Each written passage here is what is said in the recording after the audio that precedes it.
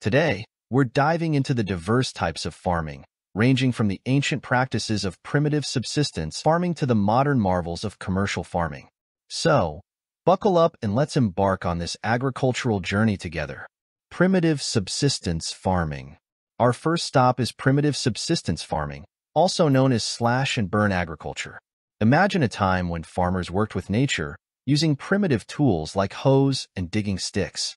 Families and communities worked together, clearing small patches of land, growing crops, and then moving to a new plot when the soil needed a break. No fancy equipment, just the raw power of nature. Intensive subsistence farming.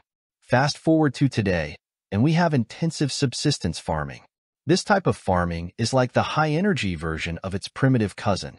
Picture this, high-pressure production, modern irrigation techniques, and biochemical inputs working together to maximize yields. It's all about efficiency and getting the most out of every square inch of land. Commercial farming. Now, let's step into the world of commercial farming, where things get serious.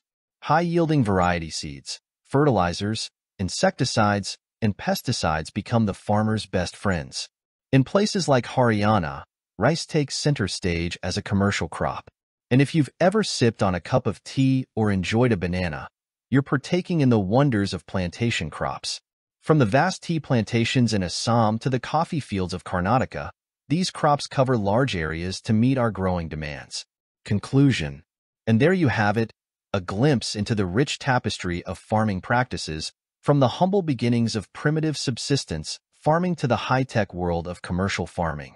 It's incredible to see how agriculture has evolved over the years to feed our growing population. If you enjoyed this journey through the types of farming, don't forget to hit that like button, subscribe to our channel, and ring the notification bell to stay updated on all things agriculture.